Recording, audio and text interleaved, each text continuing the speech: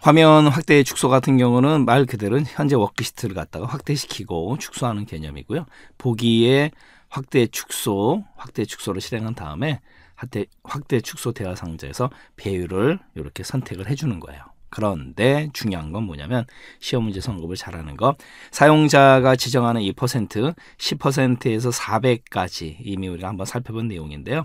숫자적인 개념 10에서 400%까지 가능하다. 이것도 시험 문제에서 숫자적인 개념 시험 문제 잘 나오니까 조심하시고요.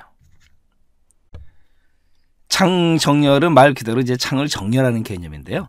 얘는 여러 개의 통화 문서를 배열해서 비교하면서 작업할 때 사용하는 기능이다라는 거고 보기의 창 모두 정렬을 갖다가 클릭하면 돼요.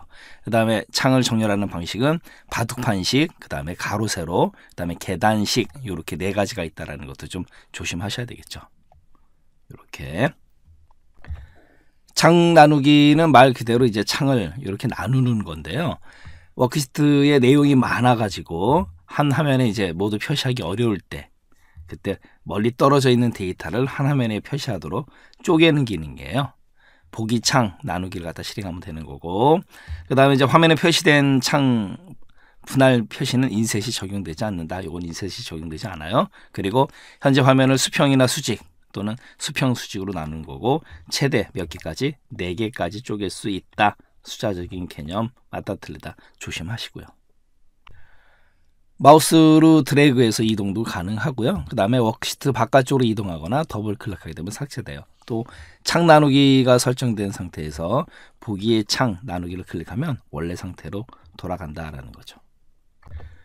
이번에는 틀 고정인데요. 틀 고정은 실생활에서 실무에서 굉장히 요긴하게 사용되는 기능이에요. 가겠습니다.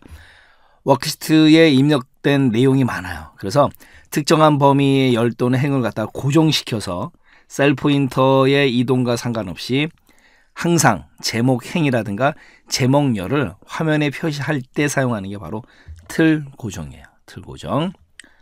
보기의 창에 틀 고정에 틀 고정을 실행해서 틀 고정을 하면 되는 거고요. 그 다음에 조심하셔야 될 게 뭐냐면 선택한 셀 좌측 상단을 기준으로 행과 열 동시에 고정시킬 수 있다는 거 위치 조심하셔야 돼요. 그 다음에 틀 고정 위치는 틀 고정이 된 상태에서 수정할 수 없다라는 거고 그래서 틀 고정 위치를 갖다 변경하려면 틀 고정 취소한 다음에 다시 설정해야 된다라는 거 보겠습니다.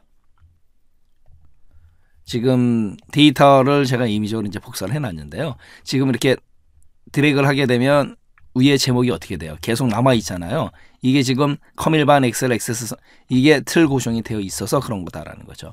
그래서 여기 보면 지금 틀 고정 취소를 해버리면 보세요. 위에 제목이 같이 사라지기 때문에 불편하죠. 하지만 틀 고정을 해버리게 되면 제목이 그대로 살아남는다라는 거죠.